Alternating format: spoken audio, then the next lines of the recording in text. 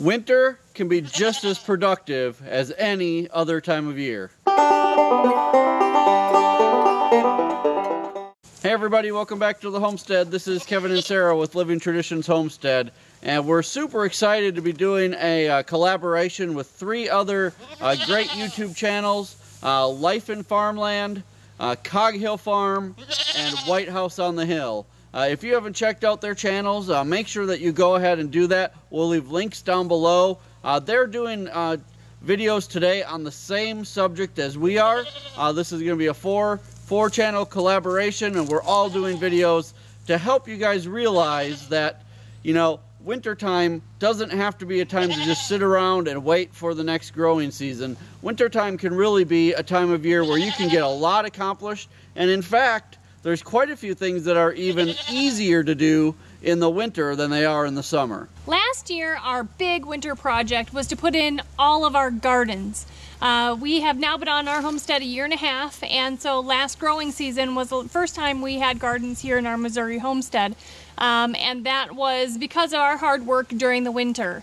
Uh, we put in uh, back to Eden slash lasagna garden. So in the winter, we cleared that area, put down the cardboard, manure, um, and straw. And then we actually went into the woods and found giant logs that were already down in the woods, hauled them all out, and we used them to build nine raised bed gardens. Now, going forward, uh, every winter we're going to plan another big project. This year, our big project for the winter is getting ready uh, for pigs this spring. Uh, we've got an area uh, behind us uh, that you can see is pretty uh, overgrown in our woods and we're going to clear that area uh, in order to make room for the pigs that we're going to put in this year. Um, I actually had a friend come over with a drone so we could get some aerial views of our of our property and this is where we're going to be putting uh, the pig area. Uh, so this area here is where we're going to be uh, raising our pigs. And that area is about 125 feet by about 75 feet. Uh, it's not perfectly square, but it's pretty close. So um, that's the area that we're going to clear out. Um, we're going to do it by hand. Um, I would love to just be able to come back here with my brush hog, but unfortunately, here in Missouri, we have so many rocks, and especially in this area, it is so rocky with big rocks uh, that there's just no way for me to really get in here with a bush hog. So we're going to have to do most of this by hand. We're not clearing it like into pasture. Right. Uh, we're just clearing it to be uh, movable uh, for us and for the pigs. Um, and just to, you know, give them a good place to start. Missouri has a ton of ticks and chiggers and copperhead snakes. Right. So this is a much actually safer time of year for us to be doing work back in the woods. Let's go back into the woods and I'll show you uh, some of the things that we have planned for deeper back into the woods. Okay, so we're a little bit deeper into the area now where we're planning on raising the pigs. Um, I'll show you a few of the things that we kind of have planned. Uh, so for example, right here next to me is a fairly big um, cedar tree. Uh, this size tree we're going to plan on leaving, uh, but again, I will trim these branches to at least head level. Uh, that way, when we are looking back here to check on the pigs, we'll have a good, uh, clear uh, field of vision so we can, you know, make sure that things are safe. Um, if you look around down on the ground, there's a lot of just old, dead branches. I don't really care about these. The pigs will root these up. They'll break them up. Uh, they're going to take care of all of this uh, smaller stuff that's on the ground. I don't really care about this at all. They will just take care of it. Um, that's kind of the plan for all over. You know, little trees this size um, are just going to come out. Uh, we're just going to cut them down.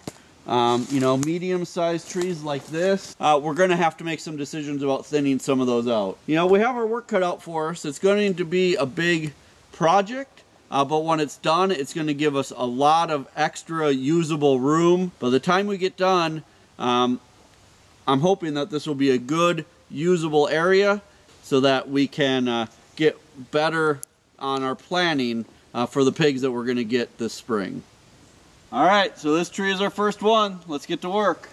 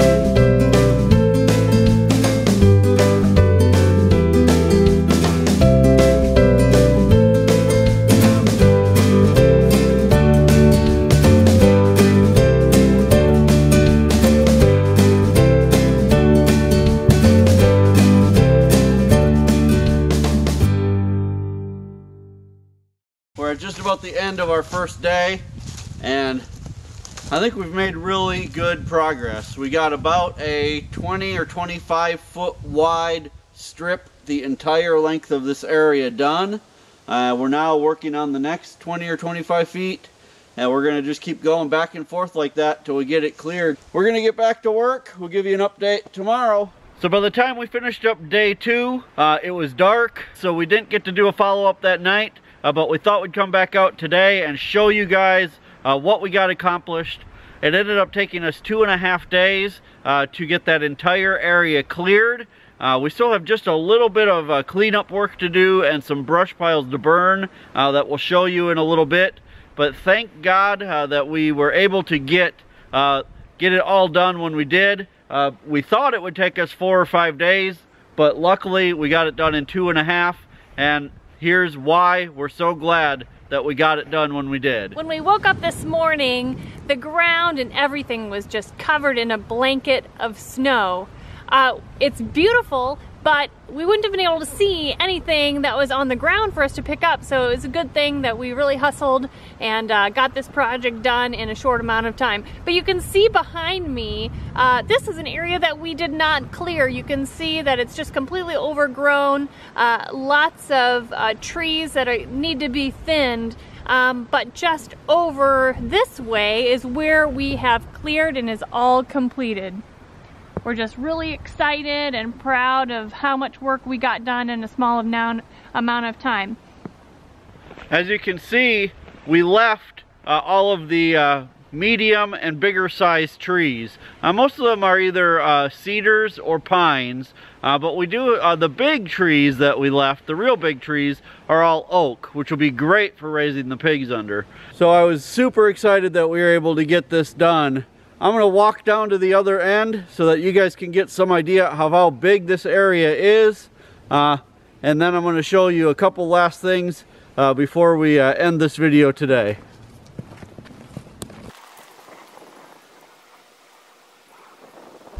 We were able to clear all the way back here. We were able to save a lot of the cedar trees that we cut down to uh, use as poles for future projects. So we'll be able to use these uh, possibly even when we build the pig pen, uh, but for sure for other projects around the homestead. So we try uh, to use as many of our natural resources as we can.